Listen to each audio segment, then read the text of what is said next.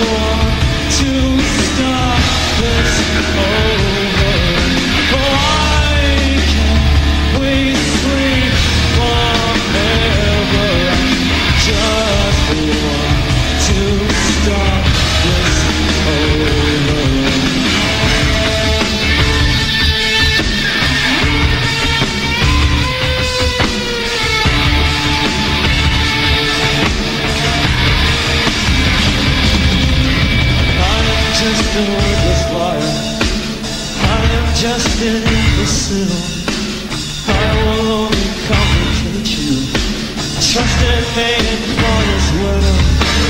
I will find a center in you. I will chew it up and leave. I will work to elevate you. To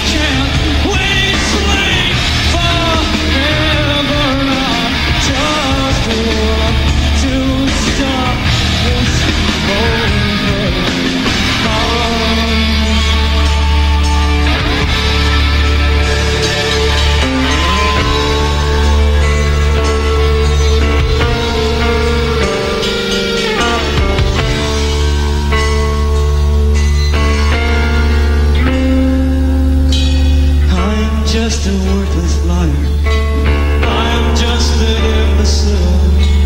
I will only complicate you. Trust in me and fall as well.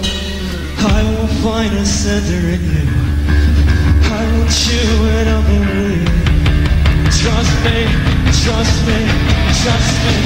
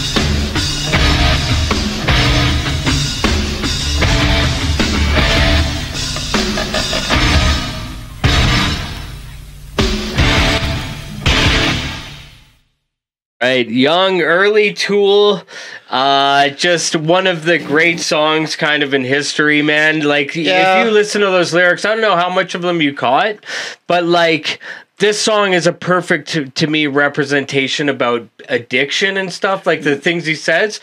You well, know, like, like, I was kind of, I was wondering if he struggled with uh, addiction himself, because Yeah. like I was kind of, I don't know, just seeing him on stage, like the lead singer on stage, and I yeah, was, Maynard is his name, Maynard, yeah, I was kind of seeing him on stage, and I was, right? he, he almost looked a little unhealthy. Right, eh, really, right? think about when we watched Floor and Nightwish earlier today. Yeah. do you see like her posture when she's singing? Yeah, like she's like, right. like she, you know, she's very Like, yeah, like, it seems- But so when you watch a guy like Maynard, who sounds, his range is great, but he's like all disfigured and shit. Like you think that would go against being able to sing? Like you know, I don't you know, over yeah, and shit. You know what I yeah, mean? Maybe. and that's a different thing but like uh yeah you know he says um there's a shadow just behind me Mm-hmm. shrouding every step i take making every promise empty Yeah. pointing every finger at me Yeah. you know like this like that is a very kind of addiction mind state that's how you feel when, Yeah, when you like- do drugs and stuff right Yeah, like